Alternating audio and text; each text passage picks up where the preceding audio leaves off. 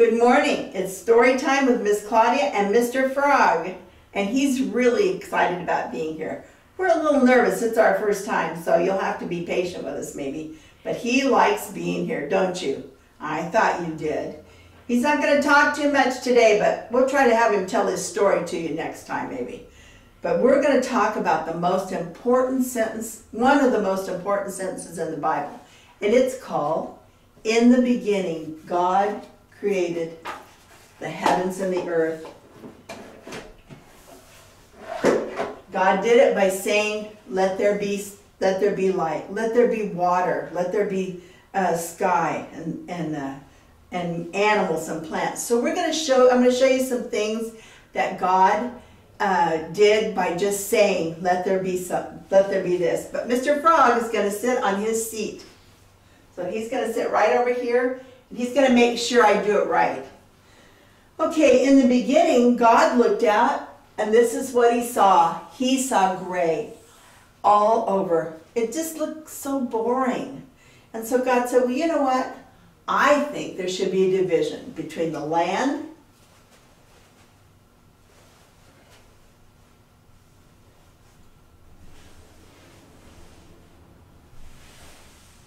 and the sea. So he made, took the waters and he divided them and he put them over there, over on the side so he could see that there was, we could see there was water and land and he put clouds in the sky. And he put, um, he planted uh, trees and flowers all over everywhere and made it just, just a beautiful place to live. Looks like someplace I'd want to be. And then he even put even bigger trees around. And God looked out and he said, you know, that's really pretty, but it's still kind of dark.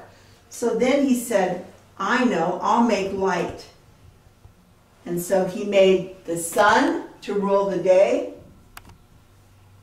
and the moon to rule the night, and the stars. He put stars in the sky. The Bible says he knows the stars by name. He named the stars.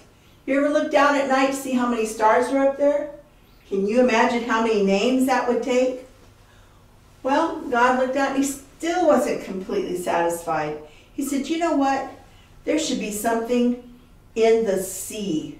Down there in that water, I think I'll put some fish. So he put fish in the sea. And did he make them all alike? No, because God likes variety. He doesn't want us all to look the same. You don't even look exactly like your brother or your sister unless you happen to be twins. Because he likes difference. So he made all the fish different. And then he said, you know what? I need some birds. He likes birds. Birds are my favorite too. So he put birds up in the trees and they were up there and they make their nest up there and they have their little babies and they're all beautiful different colors. So he looked around and he said, I'll make some more animals. I'll make some cat, some little kittens and some dogs for boys and girls.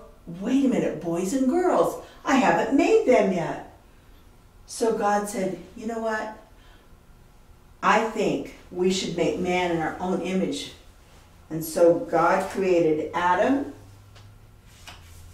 and he created Eve. And he saw everything he created and he said, That's good. And now I'm going to take a day of rest. And so we do that too. One day a week, we try to take a day of rest and think about our God and what a great God he is. So that's all for today. Thank you for listening. Bye bye.